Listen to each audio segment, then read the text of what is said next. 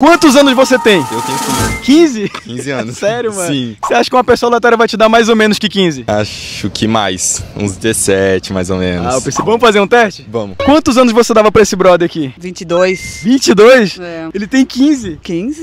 15. Nossa, parece mais. Quantos anos você tem? 53. 53? É. Sério, mulher? É. Você tá bem, viu? É, obrigada, Parabéns. obrigada. Você acha que uma pessoa aleatória vai te dar mais ou menos que isso? Ah, tem uns que dão menos e outros falam, é, disfarçam assim, Aham. falam, ah, uns 50 e pouco. Aí não falam, né? Vamos fazer um teste? Vamos. Quantos anos você dava pra essa moça aqui? 57 por aí. 57? É. Ela tem 53. Tá. Seria 4 a mais pra ela. Cabelo, eu acho. Quantos anos você tem? 22. 22? Nossa, eu pensei que você era mais nova. É, 22.